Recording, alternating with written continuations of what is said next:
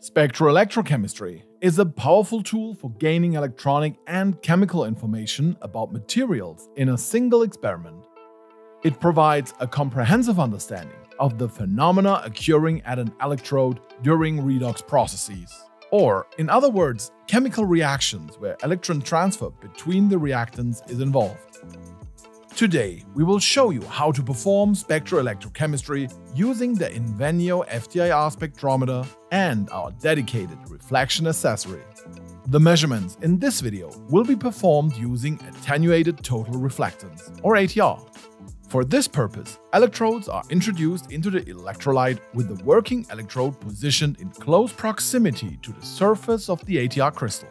To showcase the experiment, we have chosen a simple example to focus on the steps required for this setup, the oxidation of ferrocyanide. The electric potential in our measurement cell is increased until we reach the binding energy of the electron, causing oxidation of the iron center. This affects the binding strength of the cyanide ligand, which can be easily observed in the FTIR spectra. In this schematic drawing, you can see the overall setup, including the purge line, auxiliary, reference, and working electrode. If you want more details on this application, please check out the full version of this video in the description. Now let's get everything set up. First, assemble the glass tube with the ATR crystal plate. Remember to tighten each screw in an alternating manner and only hand tight.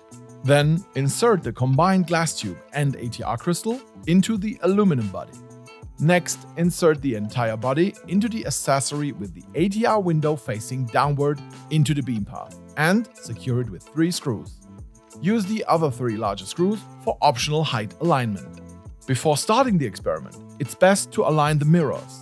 You can achieve this by following the signal intensity during alignment in our Opus software until it is maximized. With the Invenio setup completed, secure everything with the sample compartment cover here is a top view of the setup, including the purge line and the potentiostat.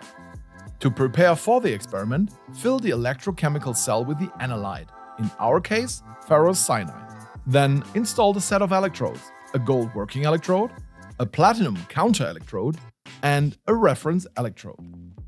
Finally, introduce the nitrogen purge and connect the electrodes to the potentiostat. In some cases, for example when water or CO2 are the end product, purging is not enough. For these situations, we offer vacuum systems to perform spectroelectrochemistry.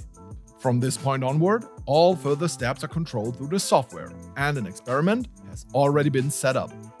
Please note that as soon as the FTIR measurement is initiated, the Invenio will send a trigger to the waiting potentiostat and will then start the measurement perfectly synchronized.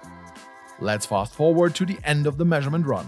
In the 3D plot, the trace display and the spectrum display, the progression of the reaction is evident.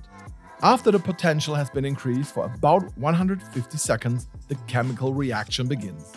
The decrease of the ferrocyanide complex occurs at 2040 wave numbers, while the increase of the newly created ferricyanide complex can be observed at 2115 wave numbers. You can easily adjust the indicator markers and display the corresponding spectra as desired. You can of course adapt the time resolution to the respective reaction kinetics to follow very fast or very slow reactions depending on your need. And that's it! Now you know how to perform spectroelectro experiments with Invenio. Thank you for watching our quick demonstration and we look forward to seeing you again soon.